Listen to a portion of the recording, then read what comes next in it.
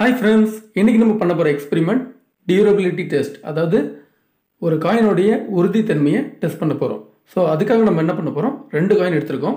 ஒரு coin aluminium coin இன்னொரு coin stainless steel aluminium காயினோட யூசேஜ் வந்து வேர்ல்டு வைடாக பார்த்தீங்கன்னா கொஞ்சம் கொஞ்சமாக குறைஞ்சிட்டே வருது.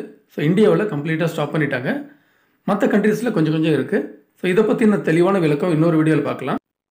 ஸோ இப்போ நம்ம என்ன பண்ண போகிறோம்னா இந்த ரெண்டு கட்டிங் பிளேட் வச்சு இந்த டுவெண்ட்டி பைசே காயினை நல்லா முறுக்கி வளைக்க போகிறோம் பார்த்தீங்கன்னா ஸோ முறுக்கும் போது அந்த காயின் வந்து உடஞ்சே போச்சு. பாருங்கள் ஸோ இதை கையாலே உடைக்க முடியுது இப்போது ஸோ அந்த அளவுக்கு வந்து அலுமினியம் வந்து ரொம்ப வீக்கான ஒரு மெட்டீரியலாக இருக்குது ஸோ இப்போ நம்ம இதே லாஜிக்கில் ஸ்டெயின்லெஸ் ஸ்டீலையும் வளைச்சி பார்க்கலாம்.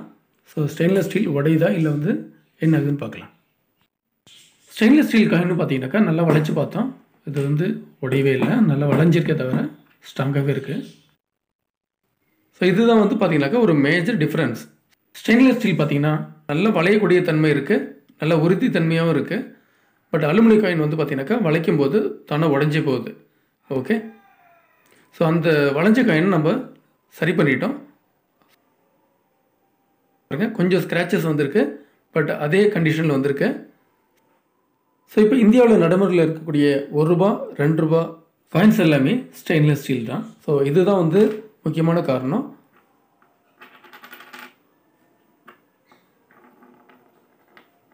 ஓகே ஸோ இந்த காயின் நல்லா ரொட்டேட் ஆகுது. ஸோ பழைய கண்டிஷன் வந்துடுச்சு ஸோ இந்த வீடியோ உங்களுக்கு பிடிச்சிருந்தால் லைக் பண்ணுங்கள் ஷேர் பண்ணுங்கள் மீண்டும் ஒரு இன்ஃபர்மேட்டிவ் வீடியோவில் சந்திக்கலாம். பாய்